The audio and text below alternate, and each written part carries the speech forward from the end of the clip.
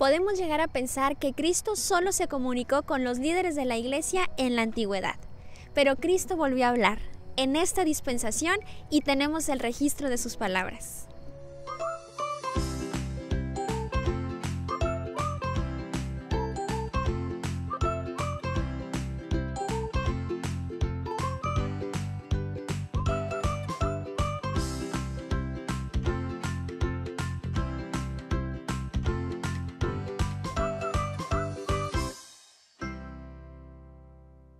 Doctrina y Convenios es una colección de revelaciones modernas de Dios que principalmente recibió el profeta José Smith.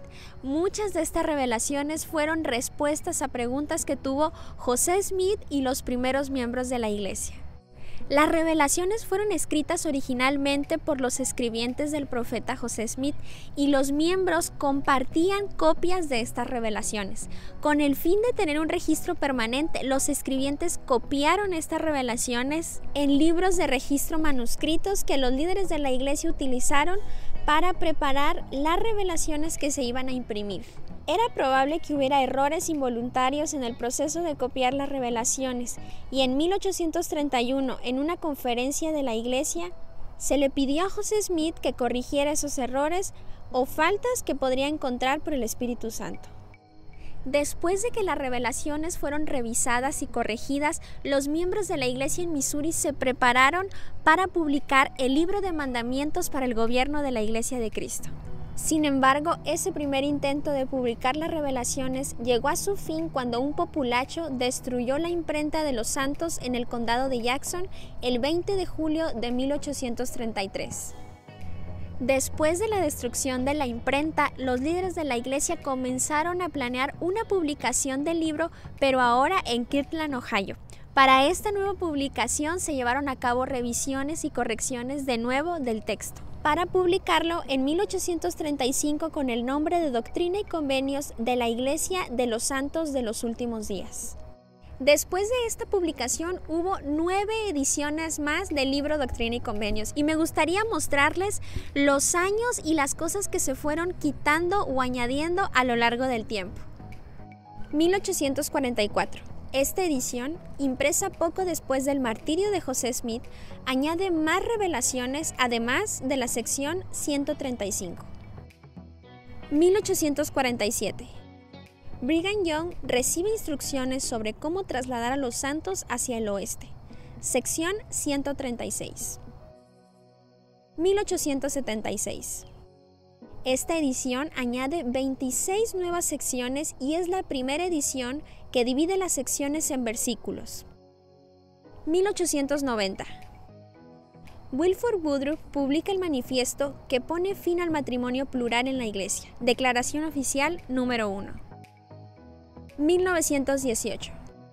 Joseph F. Smith comparte la visión que tuvo del mundo de los espíritus, sección 138. 1921. A partir de esta edición ya no se incluyen discursos sobre la fe, que fueron añadidos en la edición de 1835 especialmente para la Escuela de los Profetas. 1978. Spencer W. Kimball recibe la revelación sobre el sacerdocio que llega a ser la Declaración Oficial número 2. 1981. En esta edición se estandarizan los encabezados y se añaden pasajes correlacionados, junto con algunas revelaciones más. 2013.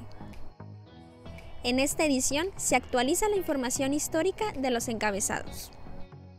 Ahora les voy a decir unos datos muy interesantes sobre este libro. La sección más larga que vas a encontrar en Doctrina y Convenios es la sección 124 con 145 versículos y las secciones más cortas que encontrarás es la 13, 116 y 120 con tan solo un versículo. La voz principal de Doctrina y Convenios es Jesucristo. Y este libro también tiene algo muy particular. A diferencia de las demás escrituras, este no se tradujo de un registro antiguo. Doctrina y Convenios es un testimonio más de que Dios nos conoce personalmente, conoce nuestros nombres y sabe de nuestras necesidades.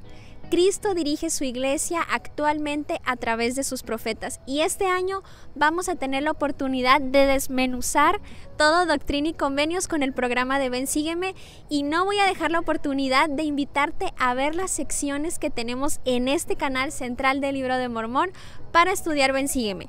Tenemos Ven Sígueme con Pepe Valle te lo cuento en 10 y ven Sígueme Kids para los más pequeños de la casa.